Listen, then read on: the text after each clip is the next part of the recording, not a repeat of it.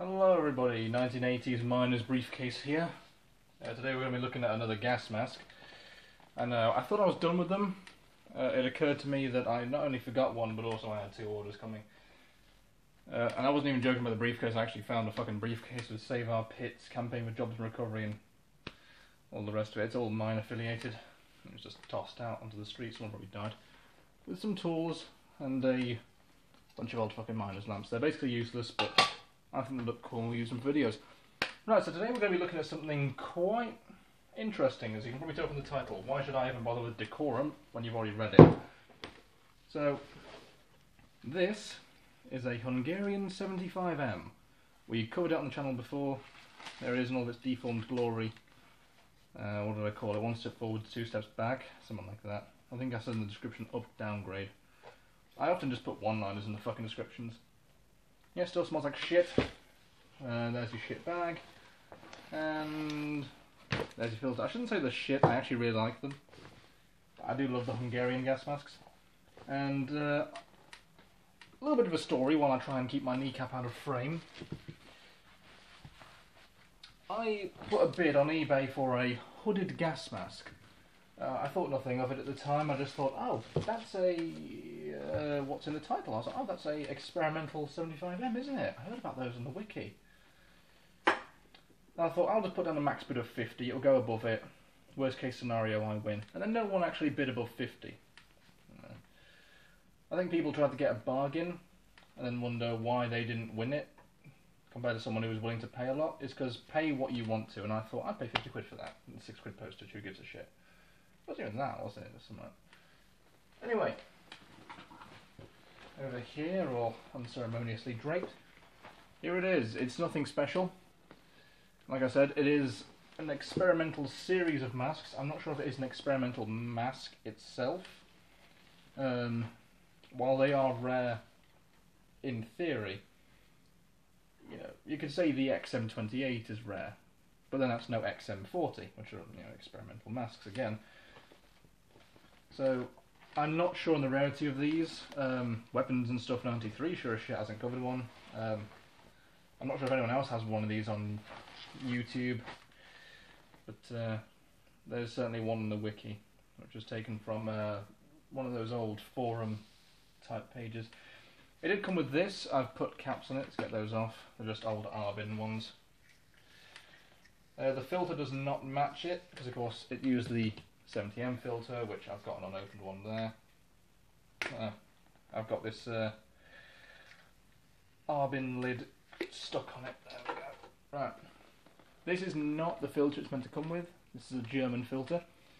I thought, okay, that looks like shit because it's covered in yellow paint. I don't even want it. Then I realised it actually says something.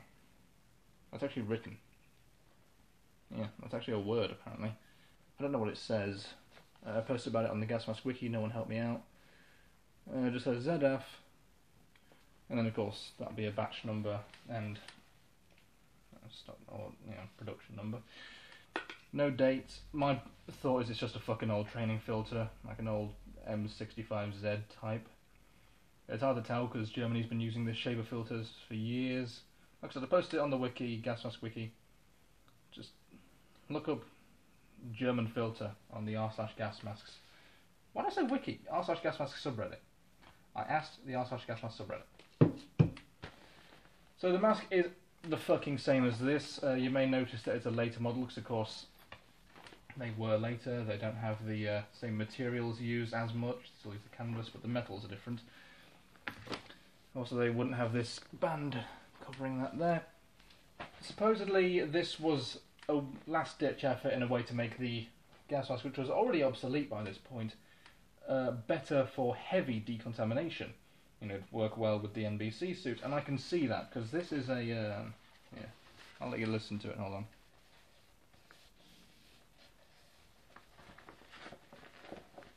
Bit of ASMR there. I don't know how good my lighting is, but uh, it's very rubbery and soft. It's nice to touch. Uh, Hungary is good at making nice gas masks with comfortable rubber. Just look at the 70M, it's delightful. I don't know why people say it's bad. It's got a funny smell to it, because apparently this is open coating. Uh, inside is a pretty basic canvasy material. You'll hear it pop and crackle at times, but I'm not ripping it, I swear, because you can see there where it's been sat for years and part of the rubber has fused. But you can, I'm not going to do it, but you could easily pull them apart without ripping the rubber. Like it wouldn't be hard. This isn't that kind of material. Obviously, it would get cut easily, but nothing to worry about.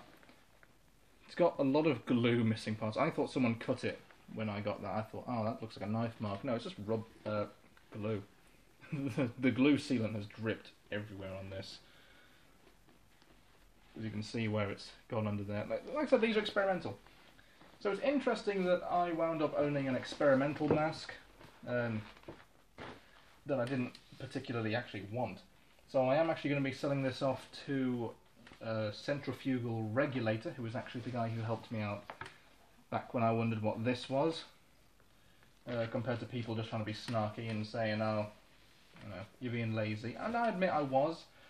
Just at the time, I was really confused by the differences because I was like, I hear some people calling it 75M, 76M, M76, M75, so many different ones. I'm like, what's the difference? Please help me.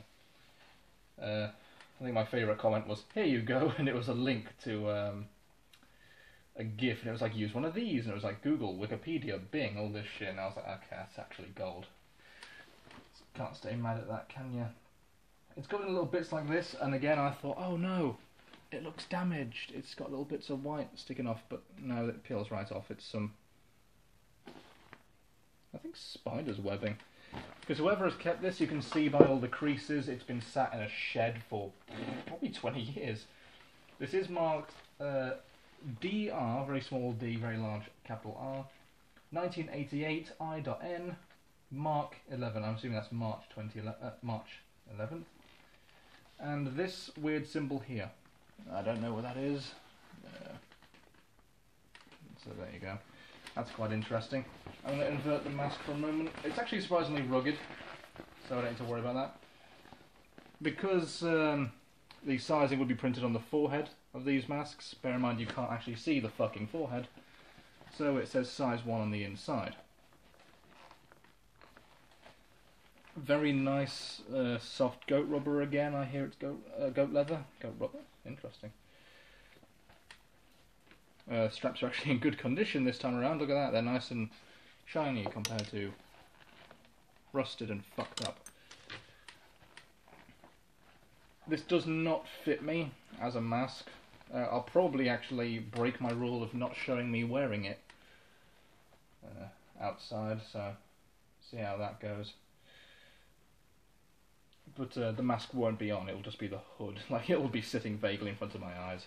If that's a size one, and this is a size three.